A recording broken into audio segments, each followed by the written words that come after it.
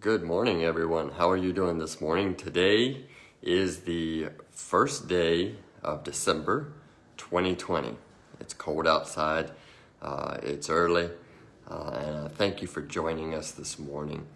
Um, you know, when I think about the first month of December, I think not only is, I mean, the first day of December, not only is it the first day of a new month, it's also for many of us the first day of the last month of 2020. You know, and over the course of the last several months, um, if you're like me, you've probably heard a lot. I can't wait till we get through 2020. I just want to see 2021 uh, and uh, see 2020 get in the background and, and go behind me. Uh, as, as, it's funny how God works. Uh, I don't want to keep you too long this morning because really I don't, uh, my devotion's more of a thought today.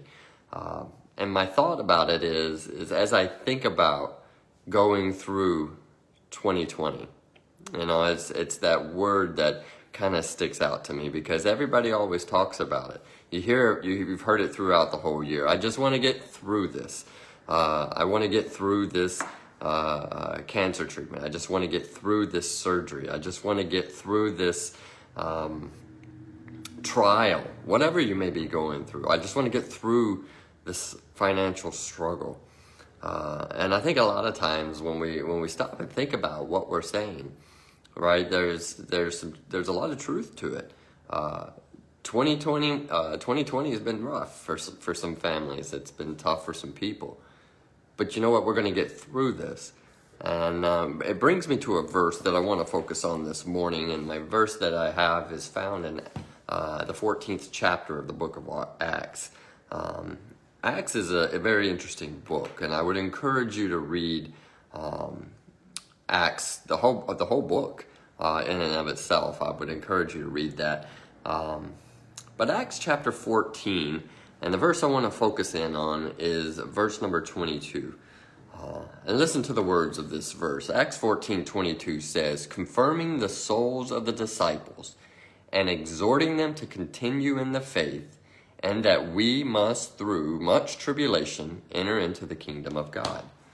Um, this is this is Paul, and in the course in the beginning of this, uh, in Lystra, uh, Paul was uh, was stoned and was attacked, and he had gone through much tribulation. But then uh, later on in the chapter, he winds up going back to the very place but in the middle of all of this, verse 22 starts out by saying, confirming the souls of the disciples. You know, we as Christians, we have a work to do. Uh, and that work is to share the gospel of Jesus Christ with those that are around us. Um, 2020 has been tough, but you know what? God's been good. God hasn't changed. God hasn't lost his seat on the throne. Uh, God hasn't lost control. Uh, as a matter of fact, God is just as much in control today in 2020 as he was in 2019, as he was five years ago, as he was 10 or 15 years ago. Wherever you are, God is still the same. God has not changed. Uh, his authority has not changed. Uh, he still sits on the throne in heaven and he still controls uh, all that is going on. Uh, we can sit there and easily sit back and say, well, you know, I've got all these problems and all these trials and the tribulations. But as I said in the beginning, right? Normally, when we talk about our trials, when we talk about our tribulations and our troubles, we often talk about, I can't wait till I get through them. Uh, I can't wait till I get through this uh, obstacle in my life. And, and it's funny to me, uh, how the Word of God and how we use these words also apply to Scripture. Um, the last part, the latter part of this verse, is is something that I want you to focus on and, and really think about. And Paul says at the very end of the verse, he says, "And that we must through much tribulation." enter into the kingdom of God. So you and I have a final destination. Uh, every one of us in this world have a final destination once this life ends. And if you're a child of God and you have given your life over to Jesus Christ as your personal Lord and Savior, you're going to get into what the Bible refers to, what Paul here is referring to as uh, and what we as Christians refer to as the kingdom of God, because that's our ultimate place where we will be. But we need to confirm some souls while we're on our way. Uh, and which means we need to reach out to those who are lost and share the gospel of Jesus Christ and understand that it is through much tribulation. Through much tribulation, we are able to get through this. It's not in tribulation. Whatever trouble you are going through, whatever obstacle you're facing, whatever trial you're, you're currently sitting in, it's temporal. It will not last. It will be gone. Much like 2020 uh, will be gone in the next uh, 30 days. It will be over. Um, and we will be moving into a new year. And the God that was the God of 2020 and the God of 2019 will still be the God of 2021. Um, our trials will not stop simply because the calendar, uh, the page of the calendar has flipped over. So my encouragement to you today is really encourage one another. I want you to pray for one another, lift one another up. Because we're all going through some sort of a trial and tribulation, but who are you going through it with? Um, I want to encourage you to understand this morning as well that the troubles and the trials that we're facing today, we will get through them.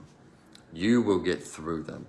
Um, put your faith and trust in the God of salvation. Put the faith and trust in the creation of man and the creator of man. Uh, because he's the one that will get you through your trials. Um, it's, it amazes me how, how God works in and through our lives. Did you know every trial, every tribulation that you face is to make you stronger, to build your faith in the one that you're putting your faith in.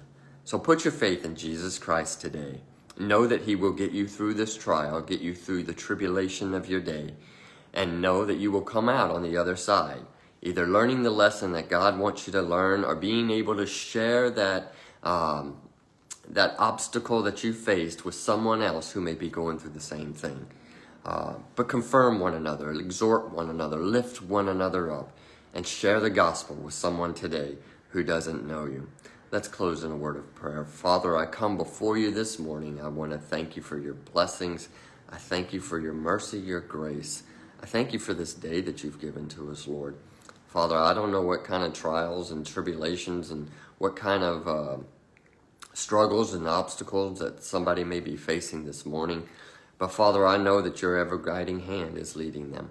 I pray, Father, that we as Christians would realize that we get through the tribulations uh, by trusting you and putting our faith in you and knowing that we will get through it. Lord, we will not stay there. We will not be abiding there. Your word says that we will get through them. I love you, I praise you, and I thank you. For it's in the name of Jesus I pray. Amen. Thank you so much for watching, and I hope you guys have a great day.